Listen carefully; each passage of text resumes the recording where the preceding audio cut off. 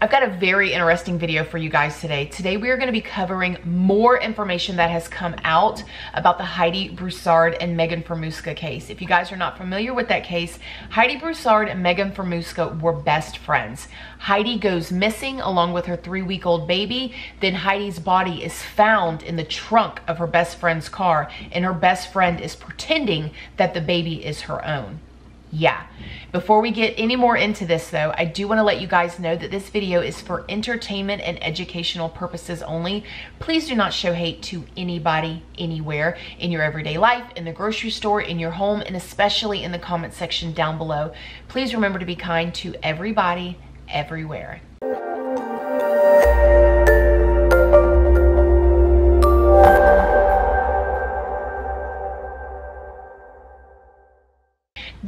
Morning, my lovelies, my beauties, my friends. My name is Christina and welcome to my channel. If you're new here, thank you so much for clicking on this video. I really hope that you will subscribe, stick around, take a chance on hearing some things that I have to say. And if you are a returning subscriber, y'all already know, uh, Y'all are my babies. So good morning, good morning, good morning. How is everybody doing today? I hope you all are having an amazing day. So today I've got some very, very interesting details for y'all. I heard an interview where Shane, who is actually the boyfriend and the baby daddy of Heidi, the, the young woman that went missing, an interview that he did with another YouTuber. Before we get into all of those details, because there is some really, really good stuff that's gonna be in this video, so make sure y'all stay till the end. I wanna give a huge shout out to Critical Kay. She is the YouTuber that landed this interview with Shane Carey, and she did a really, really good job on this interview. I will leave her channel and the video that I'm talking about linked down in the description box so you guys can go and watch the whole, it's an hour long interview if you guys want to, and it was good. She was very, very empathetic with him, but she also asked the tough questions. So shout out to you, Critical Kay, and shout out to my girl Holly for telling me about Critical Kay. All right, so let's get into some of these details. Like I said, if you guys wanna watch the whole entire video and the whole entire interview, check that out. But I'm gonna give you guys like the keynotes and the hot spots on it. It started out with Shane talking a lot about Heidi. Now Heidi is the one who is now passed away and who was found in the her best friend's trunk of her car. He talked about how she was like super smart. He talked about how like she was loved history and wanted to be a teacher one day and she wanted to teach history. She just loved that type of stuff. He said that she was everybody's best friend. She was just that type of chick that no matter where she went, she was friends with everybody. She had so many people that considered her to be their best friend. She was just that person, the person that walked into a room very charismatic, lit up the whole room with her smile, very very caring, would do anything for anybody type of person. Shane said that he met Heidi in the casino. They used to work at a casino together. They were both servers there. They worked together, I guess, for about a year before they started dating and then they started dating. They have a little boy named Silas who is six years old and then now a probably about a two month old little baby girl named Margot. Shane said that they had arguments like any other couple. They had their disagreements. They were on and off at some points. They would break up and get back together and but they loved each other and they were trying to work it out. He said that he had proposed to her a while back and that he really wanted to marry Heidi and he thought that she was the one for him. Now, referring to Megan, if you guys do not know Megan, you go and watch my other videos first that will fill you in on like all the backstory.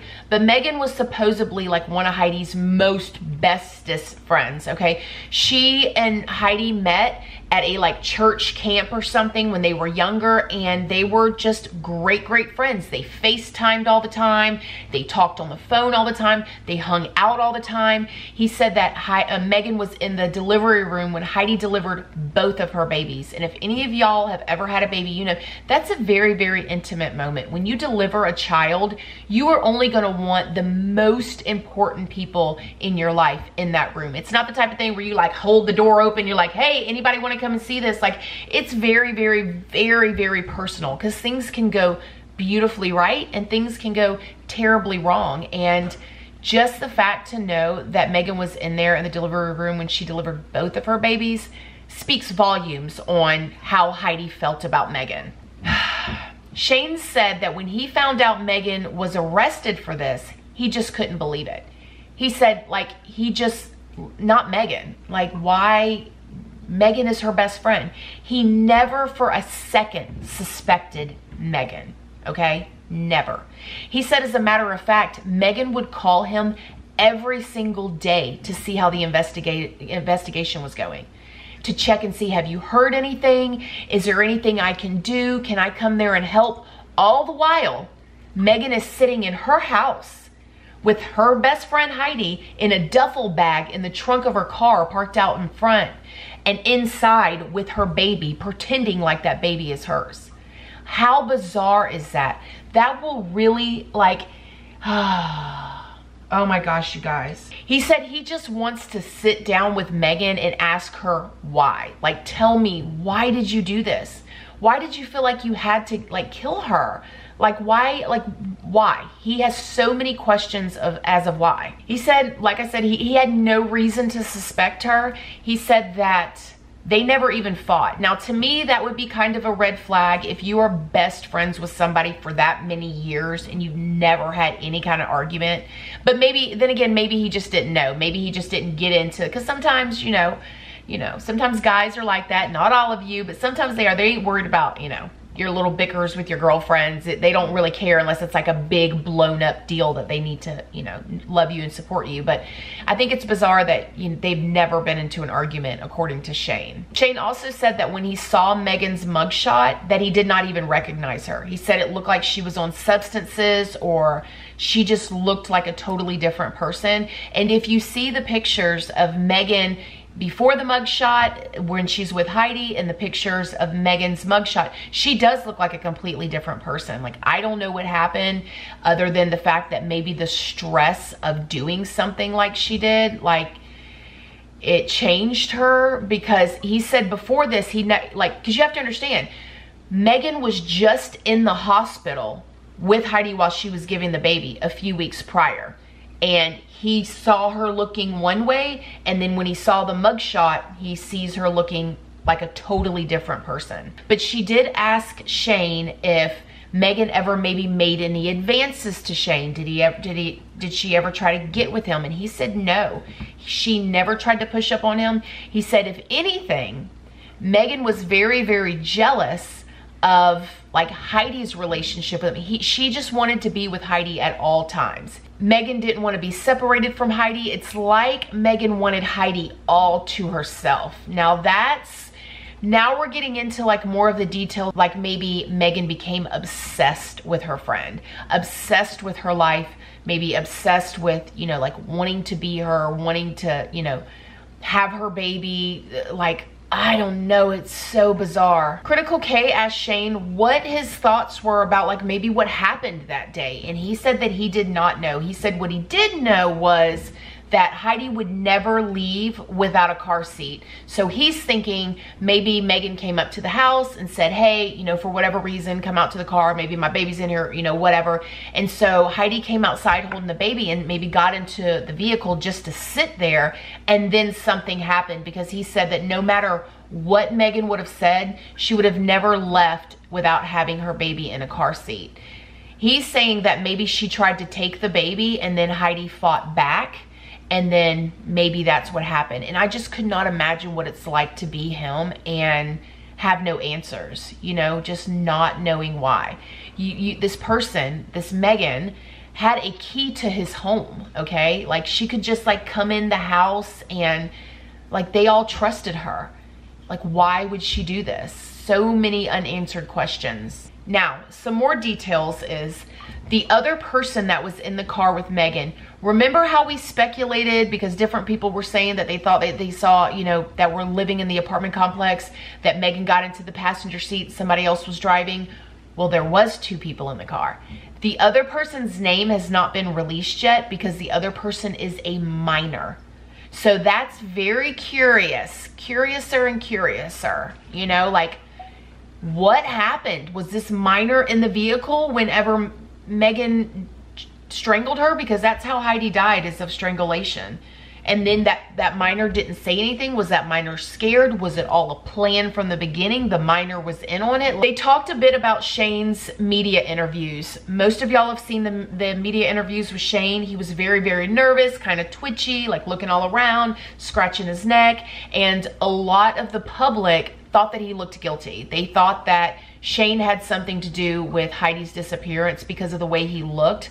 And then I also think that the whole Chris Watts thing has everybody on edge. It's got all of us second guessing everybody. Like, could you do it? Looking at your own husband like, could you do it? You know what I mean? So, but he said the reason why he was so so nervous was because like the camera guys and the audio techs and you know everybody that was there just kept telling him different things like hey you know do your arm like this or hey like hold your head up here or move over here or don't scratch or don't touch and don't be fidget like they just kept saying things to him and he was really really nervous but he wanted to do the interview because he wanted his girlfriend and his baby home. A lot of people were telling him that he needed to hire a lawyer and he did not want to hire a lawyer because he said that if he hired a lawyer, the lawyer was going to tell him not to speak to press and he wanted to speak to the press even though he didn't feel comfortable, although he didn't feel like he was good at it, but he wanted to because he wanted them back home. He did say, and I'm so thankful that he said this, and not only said this, but did this, but that he was not reading anything on social media. So all of the like hate he was getting and nasty comments and stuff, he didn't see because he didn't look. And he said he still doesn't look. So that's probably helped a lot because there was a lot of stuff going on about the poor guy. He said that when he got his little baby Margot back, he said that it was great, but it was also heartbreaking because Heidi wasn't with her. He said he, he wanted Heidi back too, but he realized that he wasn't going to be getting Heidi back. And I just cannot imagine as a father, like how do you tell your children that? Like how, how did he tell his six-year-old son that mommy's not coming home and why? I'm sure their six-year-old son loved Megan too. You know, if she was around that much, it's just heartbreaking, you guys, heartbreaking. Now, speaking on Megan, Megan being pregnant, if you guys don't know, Megan turned up pregnant the same time Heidi did, okay? There is no proof that she was ever really pregnant, but supposedly she was pregnant. She delivered her baby, according to Megan, in a birthing center. Although she doesn't remember the birthing center's name, she doesn't remember any of the people there. There's no documentation of any kind at all as of yet. He said he really believed her. He really believed she was pregnant. You know, she was like holding her belly and oh, acting tired and all that there good stuff. And that a couple days before Heidi went missing, Megan called her and told her that she had had her baby, although they never saw any pictures of the baby, which all of that is like red flags, which is it always is. Hindsight is always 2020, but like why wasn't Heidi in the room when Megan gave birth? You know, Megan was in the room when Heidi gave birth to both of her kids. Now, does that mean just because if I have a baby and I have you in the room, yes, you, that I'm obligated or you owe me to let me in the room when you have your baby? No, it doesn't mean that at all. But the way that it seems that they were just such good friends, they couldn't do anything without each other, they FaceTimed all the time, key to the house, like, why wasn't Heidi at least invited to be at the birthing center, you know, so whenever they were done giving birth, she could see the baby? I don't know that's even more of what makes me feel like she was never pregnant and she never really had a baby. Now, this is gets a little bit more interesting here. If you guys don't know, Megan Fieramusca, who is the best friend of Heidi, Megan Fieramusca is the one who had the vehicle that Heidi's body was found in the duffel bag inside of. She had a boyfriend named Chris Green. Now, she lived with Chris Green, and Chris Green believed that this baby, which was Heidi's baby, was his baby for a short period of time everybody's wanting to know who tipped off the cops to go to Megan's and search it. Shane believes, he just thinks this, is what he said in the, the interview, that Chris, Megan's boyfriend, who supposedly he believed he was the father of this baby at this point. I know it's so confusing. I hope y'all are staying with me here. Shane believes that Chris called CPS on Megan because she wasn't taking care of the baby the way she needed to be and that I guess the baby had jaundice and that it could possibly be because he was worried that, you know, maybe she wasn't taking good enough of care of her. You know, jaundice can cause brain damage and all of these things. Although he said that that was a theory and it could be that, come to find out that is not how CPS got called. CPS got called from the investigators who ran into Chris at the store. Remember I told you guys about that in the, the previous video? That Chris left the house to go and get formula for the baby that he thought was his that was not his and he ran into the police in the store and he told them you know the baby has jaundice and so they called CPS and that's how CPS got involved but oh it's crazy now it is important to know that the FBI was actually watching Megan they were conducting surveillance on her house before anybody knew she was a suspect so a call to CPS isn't what started the investigation into her they were already looking at her and had to confirm that Margot was there. And once Chris Green confirmed it at Target, then CPS became involved. Now, remember how I told y'all that, you know, said that Megan was calling all the time to check and see if he had heard anything about Heidi? He said he never heard a baby crying in the background. So, man, she really planned this out. I mean, obviously not too good, which thank God, because thank God she didn't get away with it, but she was really like trying to be sneaky. Like she's literally sitting there, you guys. She is calling him, okay, calling Shane to check on Heidi, who is missing, but Heidi is actually in the trunk of her car in a duffel bag, dead. Like, oh my gosh.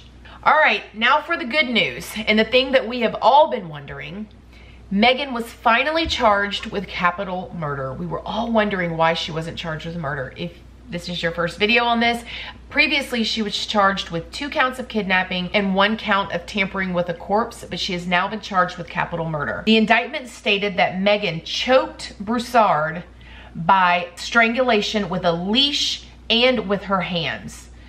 Megan's bond has been set at $1 million for the capital murder charge and $100,000 on the kidnapping charge. Her attorney, Brian Erskine, said in a statement that the state has not disclosed what evidence they have against her. He said that they are exploring all options at their disposal to vigorously represent Miss Fieramusca. Megan was initially arrested. Oh, I said that. So there we go, guys. There is the update. Now, I will tell you that Shane does have a GoFundMe going for him right now. And he said it's really been hard for him to go back to work. I can, I mean, he has gone back to work, but I can only imagine, like, this is true. This is, you, you know, his life will never be the same never be the same. I've heard that, you know, he's been going to some support groups, which I'm really, really happy for him. And if, if you watch this by any chance, Shane, like all of our love over here, Baby Gang and support to you, like we're cheering you on. But he's having a hard time. He is a single dad now of three kids and has to work full time and just, you know, has been going through all of this. So if you guys want to and you can spare anything at all, a dollar, two, three, whatever you have. I'm to leave his GoFundMe link down in the description box and maybe we can help him out a little bit because I just could not imagine going to work. Also, you guys don't forget to check out Critical Kay if you want to watch the whole entire interview. It was really, really good. And other than that, I will keep you guys updated on this. I'm to be following the whole entire trial as much as I can. I, I want to know what she has to say. I want to know why she said she did it. I want to know what she's gonna plead. Although she's pleading innocent right now or not guilty, I, I, I hope that they have it like a live trial where they have cameras in there and we can watch everything. I'm just, I'm invested. I'm invested in this, you guys. So, thank you guys so much for watching. As always, please don't forget to like this video. It's a free way that you can help your girl out. And until next time, I love you guys so, so, so very much and I'll see you in the next video. Bye.